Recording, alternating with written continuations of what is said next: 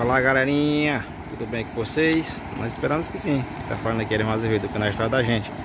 Galera, o rio tá aqui, passando água por cima da ponte. Semana passada teve uns dias que a ponte estava livre, mas de ontem para hoje ele subiu o nível de água.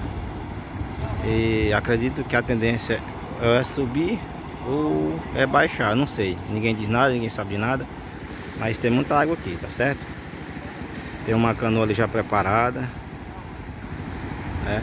O canoeiro tá aí, as pessoas que tá aqui também. São pessoas que vêm contemplar a beleza dessa, dessa vista, tá certo?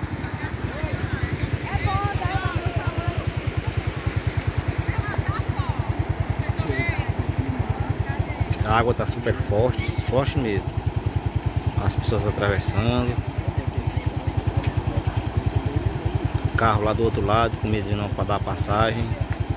Enfim, tá batendo acima do joelho lá, ó, da pessoa lá. É perigoso, água forte, muito perigoso. O pessoal vai atravessar. Tá muito cuidado. Tem o canoeiro lá do outro lado lá, ó. Enfim, hoje é 17 de março de 2024. Rio Itaim, Santa Cruz do Piauí. Olha lá. A moto lá.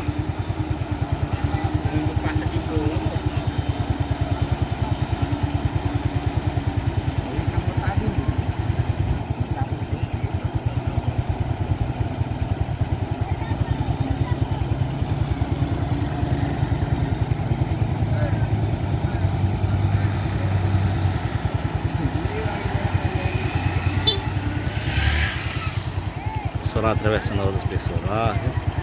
A água tá acima do joelho, mas tá forte, certo? Valeu!